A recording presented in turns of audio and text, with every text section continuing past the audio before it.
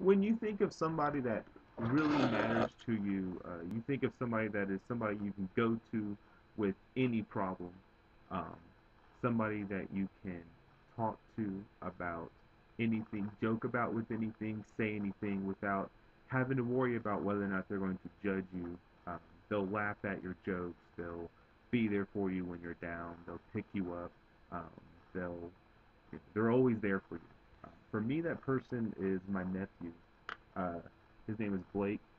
Uh, I've been an uncle ever since I was four, which is kind of odd because uh, people normally aren't uncles until they're later. Uh, but the thing is with me, I'm the youngest of two sisters. One sister is almost 20 years older than me. The other one is about seven years older than me. Uh, so I, when I was four and I was going into kindergarten, my sister gave birth to Blake, and my teacher didn't believe me.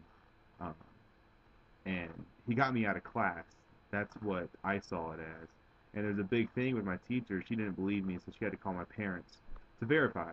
Uh, so ever since then, uh, I had kind of a weird connection with them because I was like, haha, I beat my teacher because of my nephew. Uh, so I, ever since then, have loved him like my brother. Um, if I am ever fortunate enough to be married, uh, he will be my best man. I already know that. Um, he is my best friend. He's my nephew. He's my brother. I love him to death. Um, I'll do anything for him, and I know he'll do anything for me. Um, and he knows I'm always there for him too.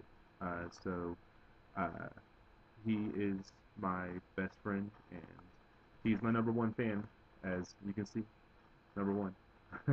he gave this to me uh, right before I left, uh, and it's pretty special. I love him.